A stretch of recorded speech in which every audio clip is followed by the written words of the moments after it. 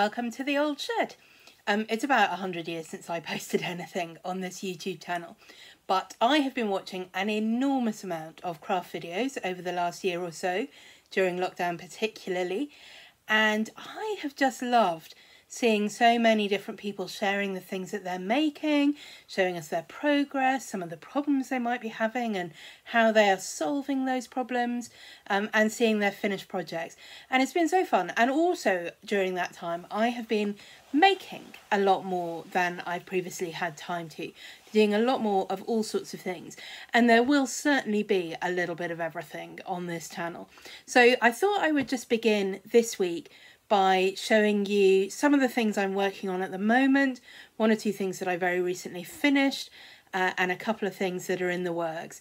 And then in future weeks, hopefully I'll have some progress to keep you updated with. Um, there might be chance to talk about things like some of this random artwork of mine uh, back on the wall here. Might do a little garden uh, video one week, all sorts of things. So we'll see how that goes. But for the moment, I'm going to talk about the things that I am working on. So, first thing is some knitting. Um, I like knitting socks. I every year, uh, almost every year, uh, enter a sock knitting competition in March. Called Sock Madness. Um, it's on Ravelry, but if you can't access Ravelry, uh, particularly at the moment with the, the accessibility issues, there are ways of entering it and getting the patterns without having to access the Ravelry website. You do, I think, still have to be a member of the Sock Madness group, so you might have to go on once for five minutes or get someone else to do it for you for five minutes, but then after that, you can arrange to have everything else done via email, I think. So, oh, I just noticed these are slightly coming off the needle. Um, so I do that. I did, in fact, this year I had a design in the competition and I'm wearing them. Maybe I'm not going to try and lift my foot up right now to show you, but I will show you those perhaps uh, later on in the video uh, when we have a little wander around. Um, but this year the patterns have been really difficult. So I did do the qualifying pattern and I did enjoy it, but it had beads in it and I just don't love beads in my socks. So at the end I um, took various people's advice and smashed the beads so I could get them off the knitting. I didn't really listen very carefully to the advice for that, and I ended up smashing the beads and also then cutting through the knitting. And I'd been using yarn for those socks, which I had previously used for a different project and unwound, and it was already that you know there were quite a lot of knots and it was in quite a lot of pieces. And by the time it had the beads smashed through it, those socks didn't really make it through. So then I had the round two socks, which I knitted, and they're lovely. And then the round three socks came out, and they had, oh, I can't remember, like a hundred beads in each sock. And I was like, you know what? I'm just not going to do that. I don't want them. I wouldn't wear them. I don't want to go through the trauma of destroying them again. So I stopped.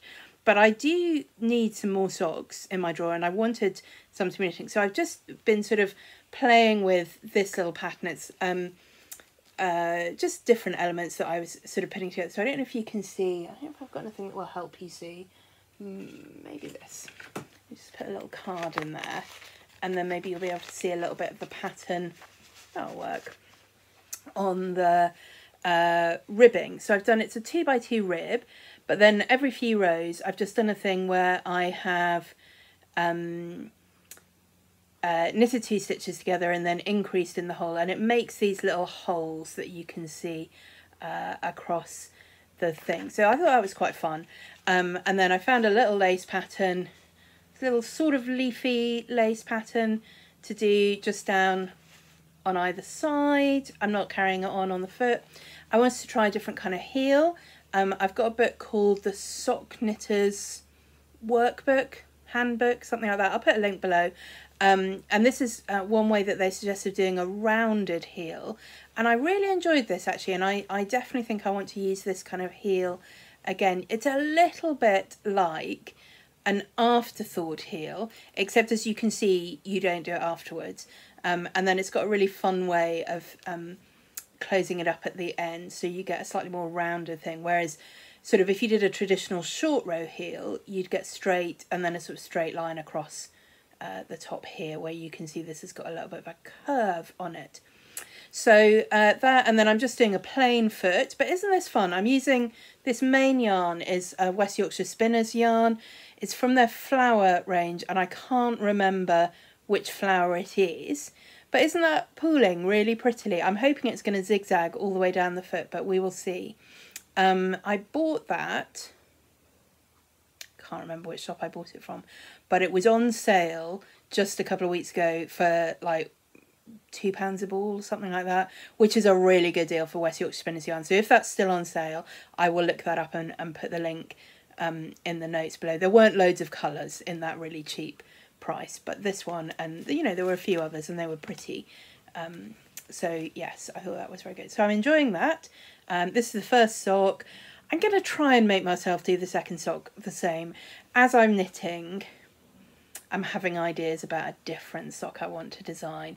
But if I do, I think that might be a sock that I use um, and submit to Sock Madness again, in which case I won't be able to show it until this time next year anyway. So that's my sock that's knitting.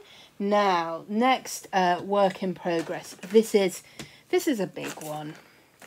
This is the Scheepjes 2020 crochet along. I mean, this is not going to fit on the camera. I'll just show you bits of it. D'Histoire Naturelle blanket. Um, it's knitted in, um, knitted, it's crocheted in Scheepjes uh, Colour Crafter yarn. I bought a kit from Hollies Haberdashery. It was about £33 for the kit for the whole blanket. It is acrylic, um, but it's really nice acrylic. It's very similar, I would say, in quality to the Stylecraft Special DK um, that I've used before for other things. Um, so it's nice to use, it feels nice, but obviously then you can chuck it in the washing machine when you are finished. And it's inspired by this blanket, the Natural History Museum in France. And so let me just show you from the, the sort of middle out. So this middle section is obviously sort of inspired by, there we go, flowers. Uh, it's very pretty. So you start crocheting in the round and then you make that into a square and you add these little corners on, which she likes to think of, the designer likes to think of as hedges, which is quite fun. And then you make your square into this is where it's going to start getting really too big. An octagon. So you do this bit coming up, up here and then back down. And in that octagon section, you add in the bees and the butterflies. And those are all crocheted in as you go. Although um, I think the pattern does call for you to go back and add a little French knot on the butterflies. I got a little bit carried away and I did a bit more embroidery on the butterflies. So my butterflies are all slightly different from each other you can see. And I also did some embroidery over the bees um, to make them stripy and a bit more bee-like.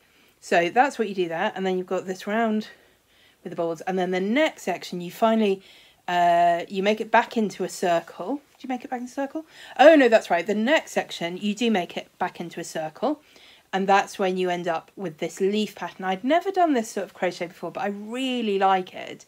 Really effective. So you alternate colours every round, uh, the bright green and the darker green, but then you also use um, stitches that reach down over the rows to do these sort of front post, front post, I can't remember what they're called. Yeah, something like that, front post trebles and double trebles to create the leaf pattern on top. So you just work those, again, as you go around, as you're doing those lighter green rows, you're always, when you get to the leaf, going back and adding in the sort of next bit to bring it up. So that takes it back to a circle. Then, this was quite a scary bit, to make that circle back into a square, you make these corner sections. So obviously you make four corner sections, and you do this by making each of these little motifs individually, and then this really complicated sort of webby um, section um, to join them all together and end up back at a square. And I think it was a miracle, but I think I did end up with the right number of stitches at that point. These are inspired by some of the mineral geodes um, in the Natural History Museum in Paris. Then we come on to the next green section. So at this point, and from here on, you're working square before you get to the green section. Obviously, I nearly forgot the best bit in the blanket altogether are the elephants. The pattern doesn't give you ears on the elephants, but um, there is a Facebook group, and that's where you download the pattern. It's a free pattern, which is amazing. Um, you can download the pattern there, and there's various people in different comment threads who've worked out different ways of adding on the ears to the elephants, and I just love those little secret elephants.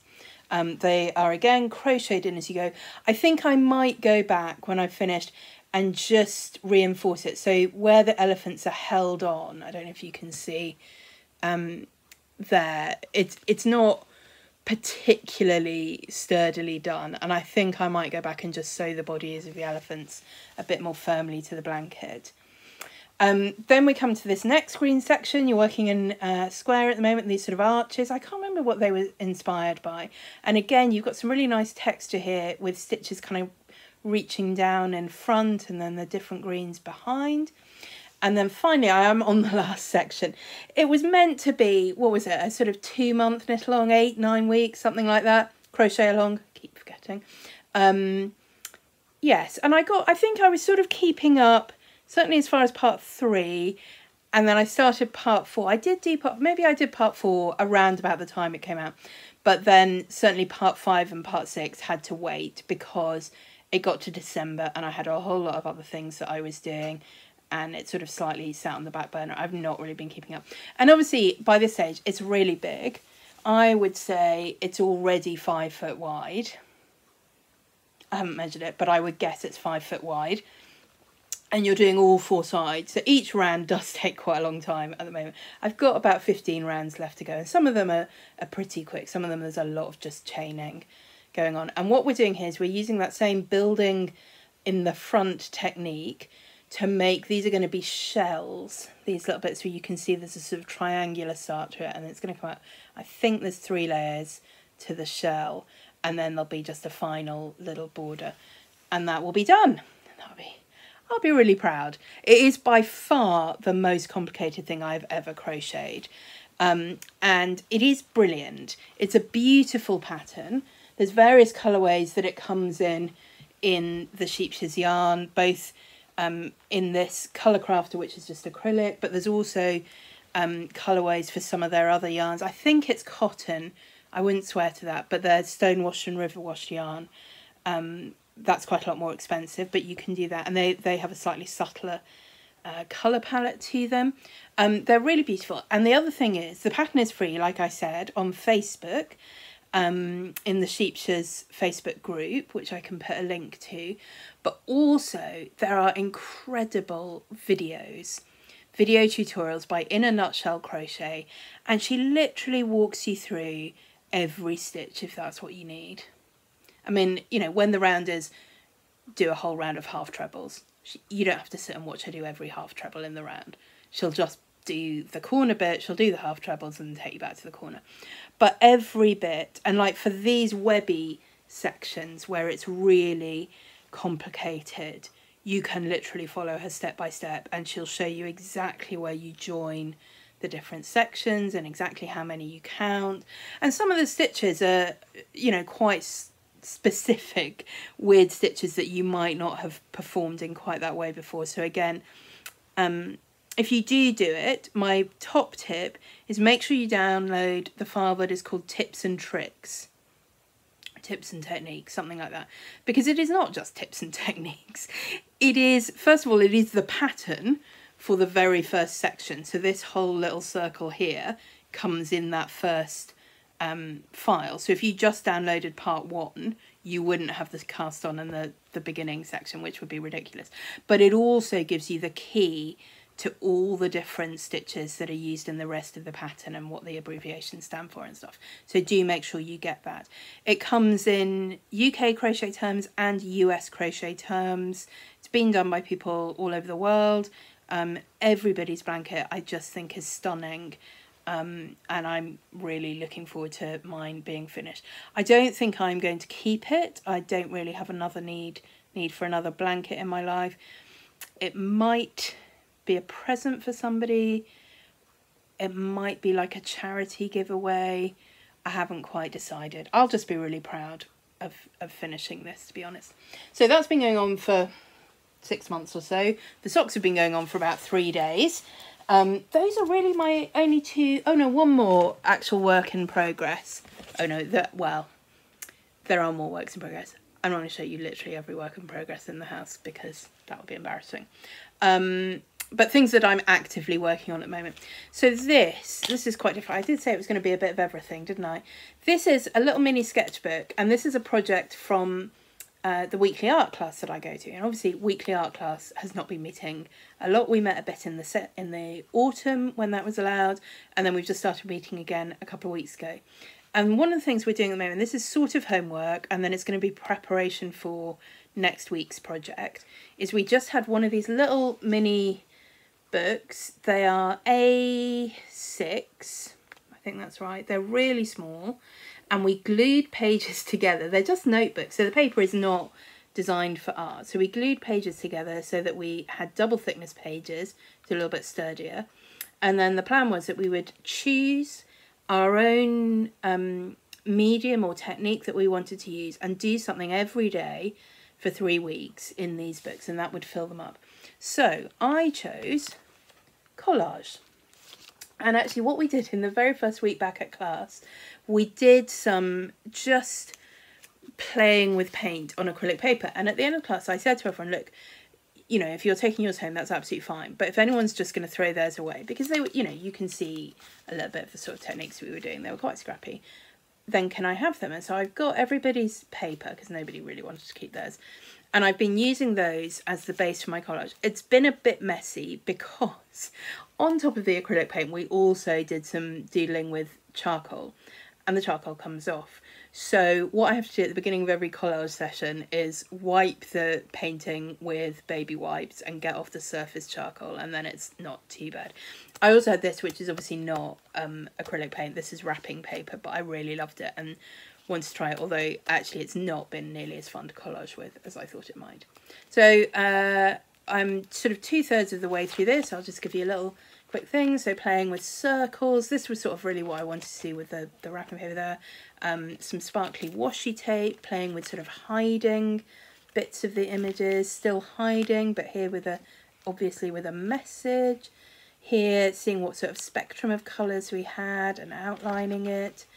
Um, this is where I started to really enjoy it, doing um, layering up of just little pieces. I did a sort of background that had bigger pieces that covered the whole space and then layered up, just picking sections with the right sort of colours. Same in this one, but in a different direction with a different colourway. Here I took strips that were more or less uh, even strips and I did, it's a sort of faux weaving where I've just stuck them down alternately uh, horizontally and vertically and I've just highlighted, I say highlighted, shadowed really a little bit of that with a bit of black pen. Let's hold that up and see if you can see that. Um, by this point the book had started more or less falling apart which is why it's got sellotape down the middle and as you can see it really is falling apart. But that's fine, it's a sketchbook. I like the fact that I have to hold it together with a binder clip. That makes me feel like a real artist. Um, then I started playing again with that same sort of idea of layering little strips, um, but playing a little bit more with colour and form. So that's, it's not based on a real flower, but you certainly get the impression of flower. I went back to the wrapping paper and the circle idea one more. I quite like that, but it's not really doing anything. This was a happy accident. This was supposed to have, this sort of started with a different idea and then ended up as this and I kind of really love it. From the first idea I got this sort of top section and then I remembered that somebody had drawn these figures on their uh, painting and I just thought, oh, I could use those to collage uh, the bottom part of that. Um, using up the scraps from the uh, collaging process, the bits that I cut out, um, I really like that with that sort of outline. Um, here I want to start playing with texture in the collage, so these are not stuck down all the way, they have a, a sort of tactile quality to them, sort of overlapping scales. And then here, I don't know if you can see quite what I've done here. These really are the little tiny scraps left from cutting bits out. And um, years ago, I did a project based on a Japanese artist called I'm going to get it wrong if I say it. I think it's Tsukimi Noda, Tsukumi Noda, something like that. I will look it up and put it below. And one of the things she liked to do in her art was was pick up rubbish. and use that in her art. And I um, did some samples based on using um, this uh, sticky back paper, sticky back plastic, to pick up rubbish where I was and um, display it. And I just thought that would be a really interesting way of doing collage. Um, it's much more um, dynamic and less controlled. The only control that I did do was where it had picked up one or two bits upside down. I did go back in and turn them over so they all had the paint showing. And that's where I'm up to in there. So I've just got a few more left to do and then we're going to finish that next week. So knitting, crochet, collage. I think those are all the things. Oh no, one more. Keep saying this and I, I like I promise you I'm not showing you all my works progress but I'm just going to show you this one. I'm going to need to move the camera. So if that might make you seasick uh, here's your moment for that. But let's see if we can just bear with me. Turn this around and show you here. So this is an embroidery piece. I can't really um, fix the camera in position there so I'm sorry if it's a little bit wobbly it's an embroidery piece from Nicola Jarvis. You can buy this printed fabric uh, from her website. She does these beautiful birds filled with patterns. That's her one of her signature things. Um, and I've just embroidered this one tiny little leaf here. So it's not a big start, but it is a start. And the thing I was really pleased about, I was um, I've been doing a little bit of embroidery recently, which I haven't done for a while, and a bit of cross stitch as well. And I was finding, just sitting doing it on the sofa, I was struggling a bit with my back, and um, and I, you know, I'd sort of put this in a heap, and I was like, I just don't know, I think it's going to struggle. What I really want is a stand that will hold it, and I've been looking at um, the sort of Lowery stands that people use and various things that you can get, and then I suddenly went, do you know, I think I have a stand in the back of the wardrobe. Um, and, and lo, I do have a stand in the back of my wardrobe. Um, this used to belong to my aunt, um, and when she downsized into a very much smaller house, she decided to not take it with her. And she knew I did, you know, crafts and, and textile work and so on. So she asked if I would like it. Um, and it was in a box and it was a little bit tricky to put together. And I did have to get some new um, screws and bolts and things. Um, and it's not completely... I mean, it's a bit lopsided at this point because it's got something under one of the legs. Um, yeah, it's not completely even, but it's very functional for what I want. I think I might need to have another go at putting the fabric on it. And I also invested, because I am old and struggling, in a um, magnifying lamp that I can use when I'm working on that. And that actually really does help. So I do want to make some progress on that. I do really enjoy that sort of embroidery. Um, and I haven't really done any for a long time. Um, so I was really pleased actually when I found that you could buy this because I don't need to buy a kit. I don't need to buy all the threads and the needles and the scissors. I have a lot of stuff. Um, but I was looking at designs and so many embroidery designs just seem to me either designed for the person who's never done this at all before and that's fine. People need a place to start, and a kit is a really great place to start because you know you'll have everything, you know you'll have the instructions. It's not that I think there shouldn't be beginner kits, but I, I do sometimes wish there were more things aimed at intermediate to advanced embroiderers.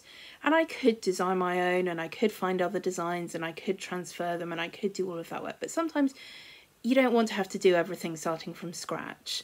Um, and actually I just felt this was really perfect um, it doesn't come with instructions, it doesn't come with a thread chart, it doesn't come with anything. You can do whatever you want with it, but obviously you're not starting from a blank piece of um, linen. Uh, so yeah, so I do have some plans of different ways that I'm going to stitch parts of that. I love that actually some of it you, you could leave unstitched if you wanted to, or you could outline parts but not feel like you've got to do full coverage over things. Um, and also you could obviously add stuff around the design as well if you wanted to. Um, so I think that is going to be fun and I think I'm going to enjoy it. And I'm mentioning it here because I want you to hold me accountable that I actually do it. Because I think it will easily become the thing that sits in the corner and doesn't get any attention. So that's that. Good. Um, I said I have one or two finishes that I want to show you. Um, this, I don't do loads of cross stitch, but I've done two cross stitch pieces since Christmas, which is the first two I've done in forever. I did an Easter piece, uh, which I sent to a, a, friend of mine, Um, if I can find a photo of it, I think I've got a photo of it. Um, I will try and insert that so you can see it. Um, that was quite fun. It was I found a really pretty little Easter thing, um, and I wanted to change the design so it was properly Easter rather than just you know spring. Um, so I took out the bunny and I put in um, the little empty tomb and the, the crucifixes and so on. So uh, I enjoyed doing that a lot. And I enjoyed doing it so much that I ended up looking for another cross stitch to do and I came across um, this designer and I will certainly put a link to their Etsy shop. Um, I really, really liked um, their choice of words and their choice of fonts. Um, theirs are all sewn up and their samples are all sewn up in like neutral colours, which clearly aren't going to go in my house. I mean, you can only see a little corner of my house here, but I think you can see it's not a neutral house. Um, so I chose my own colours and I really, really enjoyed stitching this a lot. I was like, I'm just going to do 20 minutes a day. No, I'm just going to do one thread a day. It doesn't have to be a big deal. And that's what I did. Like for the first evening, I'm like, it's fine. I've done 20 minutes, put it down. Next evening, I'm doing my 20 minutes. I'll just do another hour. And then the next day I was like, I'm just going to keep going. So I finished it in three days. I mean, it's obviously, it's not a huge um, amount of stitching, but nonetheless, I really enjoyed doing it. Um, and I just finished it in this hoop and then it sits on my wall. And I'll show you at some point the um, the wall where it sits and it's basically got a lot of round things, not all cross stitch, this is the only cross stitch, but a whole lot of things and it sits in there really beautifully. So I was really pleased with that. Um, and then I meant to do this at the beginning actually, was just talk about what I'm wearing. So last year, after lockdown started, one of the things I found was the most soothing was to be able to go out to my craft uh, hut in the garden. I'll give you a tour of that at some point. And just not listen to news, not have internet out there and do dressmaking. And I liked that because a dressmaking project, very often the kind of things I do, you know, you can finish it you can start and finish it in an afternoon or an evening. Or if it does take long, it's only a few days. Um, and so I did a lot of uh, dressmaking in the last year, and I have plans to do more, as you will see in a moment. Um, so this, anyway, this uh, hoodie started life as a sundowner hoodie by made by Van Vleck. I love the uh, hood. Um, her version does not have a front that opens, it's just a pullover. So I added in this zip section. And I think I mean I slightly widened the front here and then I didn't widen the hood sufficiently to come all the way around. I'm fine with it opening like this. It's not perfect but it's fine. Um but also in the pattern she's really clear. She's like you can have piping. Um I'm going to stand up and show you. You can have piping here or you can have pockets here, but you can't have both. And I was like, I think you can. I want both. Uh, and as you see, I have got piping that goes around the pocket and goes around. It's got really fun, um, you can't see this, curved seam. So this is the sort of curved seam and this is the back piece that comes around and this is the front piece. And then the pockets sit in that seam. And if you are careful about how you do it, you can also pipe those seams. So I really like this and I've worn it quite a lot. The only thing I was slightly disappointed about, I bought the fabric online and I think it said indigo. And it's a bit grayer than I like. I think if I'd seen this in person, I might have been a bit, mm, I don't know. I was sort of hoping for something that was a bit more denim blue um, dark denim blue, but definitely more obviously blue, and it's a little bit grey. But on the other hand, it has teal and yellow and sort of orangey pink stars, and you know, who doesn't love that? So that's my uh, sundowner zipped hoodie, and underneath, do you know, I have no idea what this pattern is. Last summer I was making a lot of jersey tops, and I used several different patterns, and I honestly have no idea. It might be the Breton top from one of the sewing bee books, but I wouldn't swear to it. Anyway, and with this beautiful uh, cat print, tiger print uh, fabric. So uh, anyway, so those are the Me Made things I'm wearing because as I am filming, this is the 1st of May, and as we all know, that's Me Made May. So I'm wearing a, a homemade, I don't really like Me Made, wearing a homemade top and hoodie um, it's a bought skirt, it's just denim skirt that I'm wearing that I've turned up and a pair of bought leggings because I can't be seeing the point of wearing leggings. But I am also wearing homemade socks. and these are the socks that I designed for the Sock Madness competition this year. Uh, they have bobbles, they have a bit of lace, they have um, an eye of partridge two colour heel, they have a bit of cabling uh, on the front on the foot, and they have a little bit of stranded colour work just at the bottom before the toe. Um, they're called 15s. You can't currently um, get them. You will be able to get them after the Sock Madness competition finishes, probably next month. Um, the pattern is called 15s because it is the 15th year of Sock Madness, and there are 15 bobbles. There is, I don't know if you'll be able to see this, the lace pattern. No, you really can't see it. Um, has a 15 in the middle of it in sort of knits and purls. It was quite difficult to get that to work and it's quite difficult to pick up on camera. But anyway, it does say 15 there and there are 15 repeats of the lace pattern altogether. You get four uh, in the round and you get three lots of that, so that's 12. And then the last round you just do it three times and that takes you up to 15. There are 15 repeats going down your heel flap.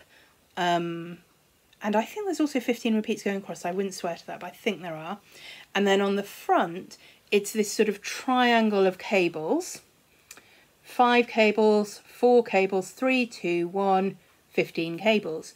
And of course, 15 dots around the bottom. I don't know if you've ever had 15s uh, where you do that thing of 15 digestive biscuits and 15 glacé cherries and whatever, whatever, and mix them all up. But that was my sort of inspiration. 15s should be lots of things all mixed up together. So it is a little bit of everything in this sock, and I just love it. I love the bobbles. I want all my socks from now on to come with bobbles, contrast colour bobbles. Yeah. So uh, those are all the things I was going to show you that I've made, and I just want to show you a few things uh, that have come in the post in the last couple of days, which may or may not get made into things sooner or later. So first of these things, I don't know if you know what these things are. Do you know what? I don't even know what they're actually originally designed to be, but I know what I plan to use them for.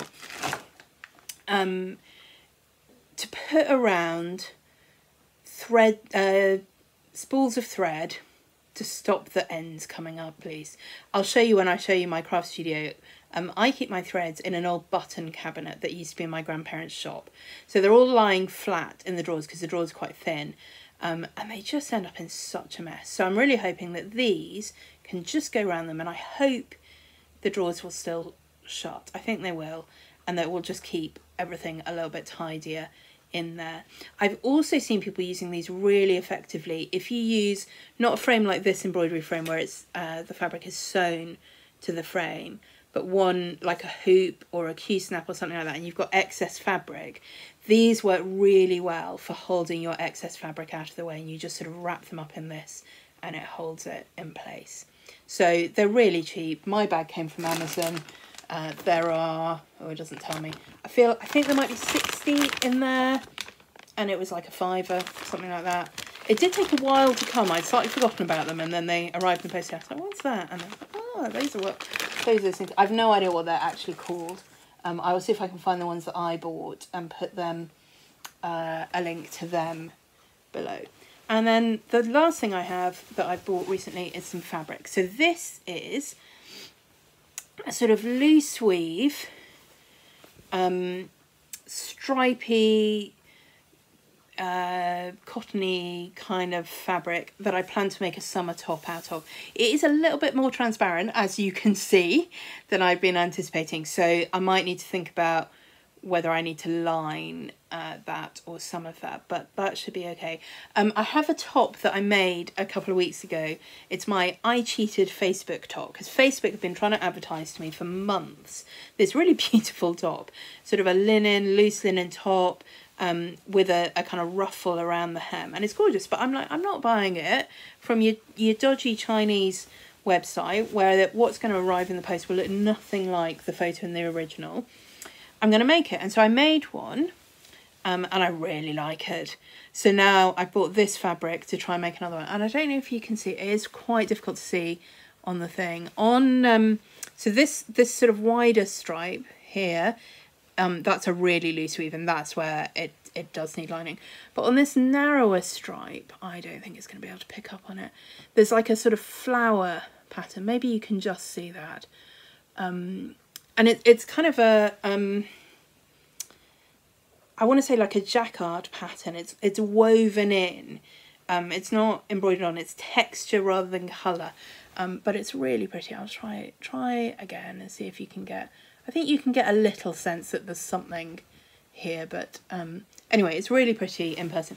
I'm slightly disappointed because the fabric did say fuchsia, and I would say this is not pink enough to be fuchsia. But it is a nice colour and I will wear it and I think it'll be a lovely light summer top. So there's that. And then I've got, it was my birthday a couple of weeks ago, I've got some birthday fabric. I had a little bit of money and I bought some birthday fabric. So this is a double gauze. I think it is a Nani Iro double gauze, but again, the links will be below. And there's just, I mean, is there anything prettier than that? It's, you know, summer, it's garden, it's flowers, it's bluebirds, it's just adorable. And I think it's possible that this will be a similar lightweight summer top. I don't think I've got enough for a dress. I don't want it to be a skirt. I think this is going to be, again, a lightweight summer top that I'm going to love wearing. I just, the colours are so pretty. Um, the fabric is like, because it's a double gauze, it's I mean, I'm just going to hold it up and see how transparent it is. Again, it is a little bit transparent, so I might line it a little bit. The pattern I'm thinking of has a facing here, and so the easiest way I think to line it, because it doesn't need lining at the back or in the sleeves, is just to extend that facing to cover more of the front. Um, or even, you know, the whole of the front again, if, if that seems to work. And then, um, and I'll just do that in a plain white muslin or something like that. So that's that. And then I've got three different patterns in this fabric. This was from, I remember these were from Lamazi Fabrics and she had got some fabrics in from, I think, an Australian fabric designer whose name is Nerida Hansen. And these are all cotton sateen. So this is red and pink gingham. I just love it. I love the scale of this. And my plan for this is that it's going to be a skirt and it's going to be a pleated skirt where I fold the pleats like this and then the pink just pops out further on. Let me see if I can hold that. Uh, or maybe I'll do it on this one here. So you fold the pleats, use the checks to mark your pleating lines and then the sort of pink uh, peeks out from underneath the pleat, something like that. I need to work out exactly how I'm going to do that, but I think that will be really fun. And I think that'll be just a lovely swishy knee lengthish above just above the knee something like that summer skirt. Um, I think yeah I really like that. And then two other fabrics um, from that same range again both cotton sateen and I think I'm going to put these together to make a dress and I think this will probably be the bodice of the dress this repeating rainbow slightly thicker slightly thinner. Um, they're sort of like their brush strokes really. They're not you know there's nothing in there that is um, straight lined rigid edges and they're just gorgeous. And then this which is um, just beautiful sort of slightly geometric but I don't know. I don't know how you describe this pattern but I love it. And it's got all the colours in it and that I think would just be beautiful as a sort of flowing skirt. And I think those two will actually work quite well together. I was a bit kind of, I don't know if I want the big fabric pattern over the whole dress, over a whole dress, but I like it a lot with this sort of um, stripy thing. So I think I have a pattern in mind for that, but I'm not certain, and I probably won't make it till later in the summer anyway um, but I think that'll be really gorgeous to wear. So that is, I think, everything I was going to talk to you about this time. Um, it's been really fun. I'm really glad to be back YouTubing. I hope you'll uh, subscribe if you haven't already. Um, I hope you give me a thumbs up. Please put in the comments if you've got anything that you'd like to ask about, uh, anything that you've seen in the background or off to the edges or that I've hinted at but not talked about that you'd like to hear about. Um, I'd love to know um, if you do multiple kinds of crafts, uh, what crafts you do and which are your favourites. Um, do you have crafts that you do at different times of day or in different places or when your head is in a different kind of space? There are things that I can do. There are times when I can do this sort of pretty plain sock knitting, but there's no way I could be working on my complicated crochet blanket, for example. Um, there's some kinds of dressmaking that I can do when I'm not absolutely at 100%, and then there's other times where I'm like, I'm not risking this unless I'm completely uh, sure that I know what I'm doing all the time. So uh, tell me that, and I will be back. Um, I'm hoping to be back probably every couple of weeks. I think, well, we'll see. I don't know that necessarily I have enough progress every week uh, to share with you, but maybe I will. But I, I'm going to aim to be back in two weeks, uh, and hopefully by then at least I will have finished a sock uh, I might have got a little bit further with the crochet and I'm going to make myself have done some embroidery so that I can um, uh, show you that it really is in progress. There may be some dressmaking that I'll have done, there may be some other things